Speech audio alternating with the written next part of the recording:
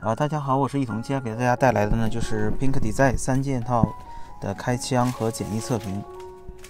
呃，虽然是一起买的，但是呢不是同天到达的，所以我就分别说一说。因为 Pink Design 呢这个牌子呢几乎呢就是我没有见过降价，所以呢我就是原价购买的，是二百五十九美金，加上税后呢是二百八十三美金，相当于呢人民币是一千九左右。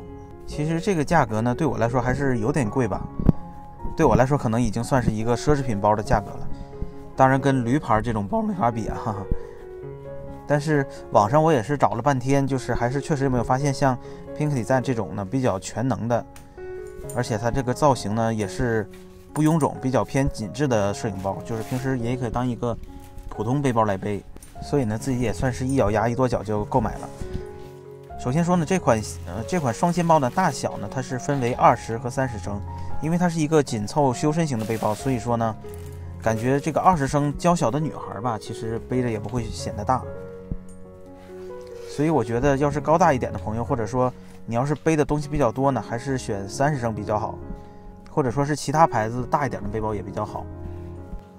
二十升这款背包呢，其实对于高大一点的朋友来说，看着还是稍微小一点，但是它的容量呢，还是就是能装的东西啊倒是不少。呃，不过从容量上来说呢，二十升装这个两机三镜吧也没有问题。从外观上来说呢，四种颜色呢就是黑色、炭黑、这个灰色和这个棕棕黄色。我是感觉这个黑色嘛，特点不是太明显，而且深色吧也是这个稍微吸热一点，所以我就没有选择黑色这款。棕黄色呢，我就倒是觉得它要是皮革那种亮面的话还好，但是这个。这种材质的话，看起来我觉得还是像麻袋一样，就是不是很好看。灰色呢，我觉得还是显得比较有特点吧，显得比较素雅一点。而且它总归是个浅色的，也不会太吸热。本以为会怕脏吧，但是还是我觉得还好。我是经历了凌晨在山坡上这个仰面朝天的摔倒啊，也没有让这个背包有什么明显的污渍。接下来我就说说细节吧。首先，上面的背包盖子这儿呢是一个磁力的卡扣。就相当于分为四档，拉到最下边呢就是包裹最严实，但是你容纳的空间就是最小。最上边呢就是容纳空间最大，但是最大的话两侧就会有一定的开口。这个磁力卡扣呢不是平面贴合的，是这个往里面是往里面贴合，所以说打开的时候呢需要一拉一抬才能打开。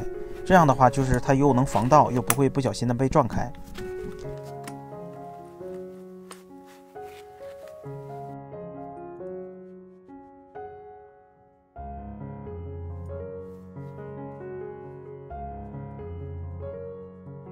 背包两侧呢，它都有这个拉链，所以说两侧都可以打开，这样取相机就很方便。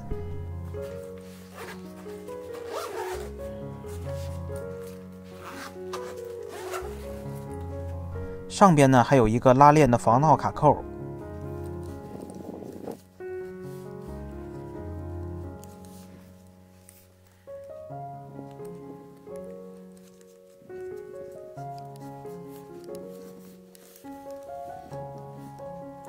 是很简单的，就相当于把这卡扣一卡进去，就把它扣上了，很结实啊，质量不错，感觉不会轻易拉断。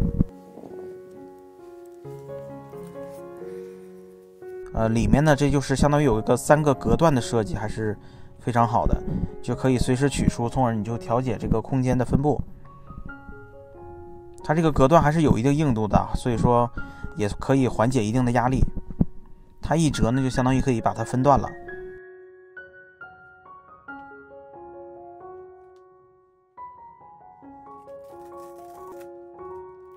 你在里边来回挪挪动呢，就可以调节它的大小。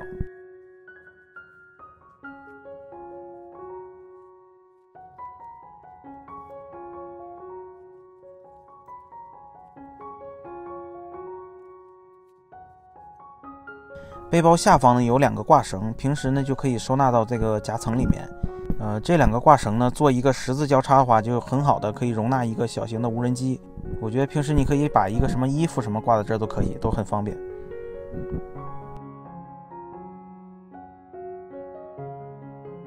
卡住一个泡沫箱也可以很结实的。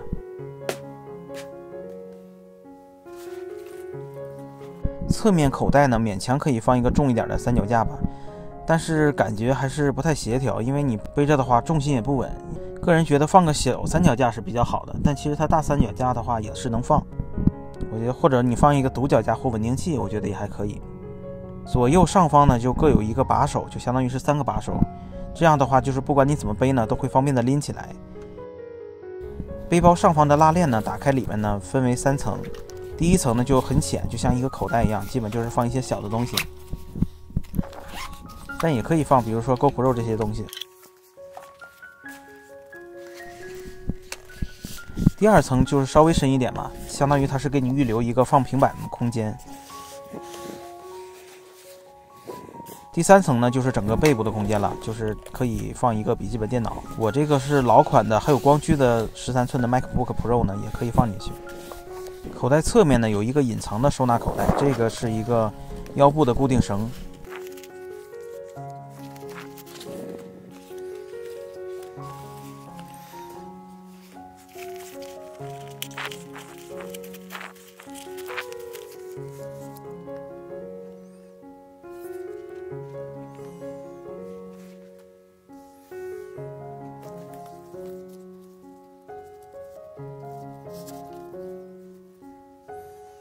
背包后面呢有一个胸部的固定绳，两边都可以拆卸。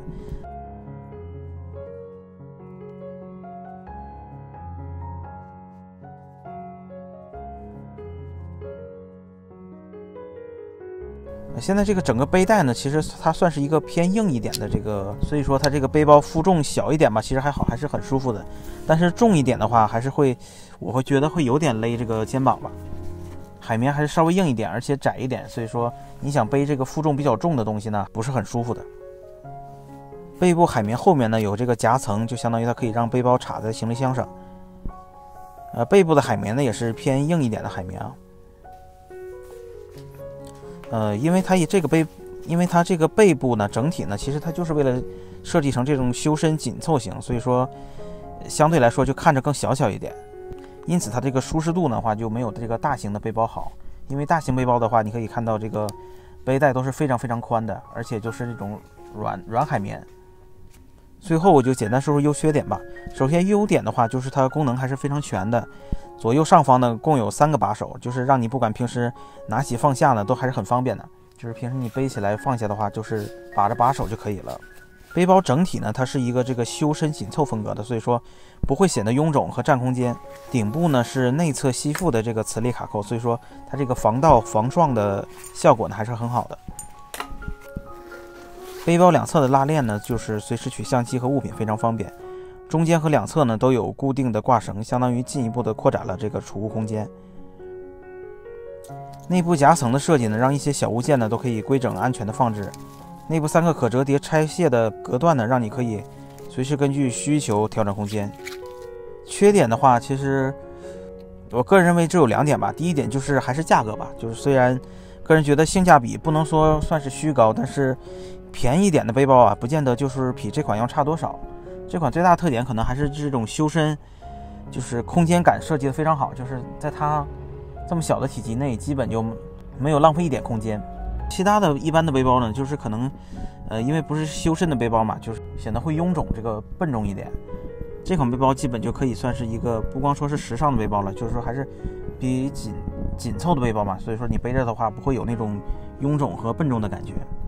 第二点是我个人觉得它这个背带的舒适程度呢还是比较一般的。当然，它背轻一点的东西的话，当然还是非常舒服的，就是我倒没有任何不适感。但是负重多一点的话，就像我把这个背包彻底装满，就是呃装了两个平板，呃两一个相机，三个镜头，有其中有一个长焦，再加上一些配件，再加上或者你再加上一个三脚架，那基本就是这个背带非常会非常的不舒服。就相当于这个背带的海绵背带的话，因为它是硬一点的海绵，所以说它还是会有点勒你的胳膊的，啊，相当于会比较勒你的肩部的。说到底还是因为这个背部的定位呢，就是修身紧凑型的吧，就是所以说，所以说它就相当于是为了美观吧，就适当放弃了一定的舒适度。最后呢，我还是建议就是喜欢装多一点、重一点的东西的朋友呢，选三十升的那款背包会比较好。或者选一个大一点的肩带比较宽的，或者是软海绵体的这种肩带的背包呢，会会让你的肩部会轻松不少。这款背包呢，其实它能容纳的东西很多，但是你要把它彻底装得满满的话，你背到身上的话还是不是很舒服。